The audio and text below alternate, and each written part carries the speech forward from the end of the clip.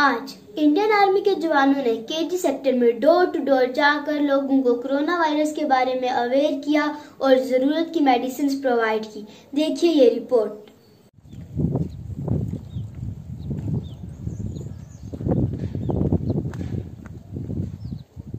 हम कम इंटरेक्ट करेंगे तो ये फैल, फैलाव जो है वो उतना रुकेगा।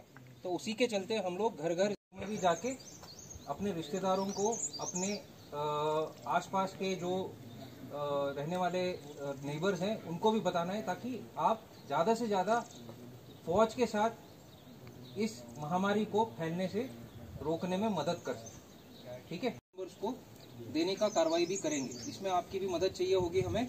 हर एक फैमिली मेंबर अभी लॉकडाउन के वजह से एक फैमिली में बांटने की भी कार्रवाई करेंगे। ये डोर टू डोर कैंपेन करने का मकसद यही था ताकि हम सब लोग को इकट्ठा बुलाने की ज़रूरत महसूस ना कर पाए। कोरोना वायरस का कोरोना वायरस से हम लोग लड़ सकते हैं और इसके ऊपर हम जी साथ मिलकर जीत हासिल कर सकते हैं।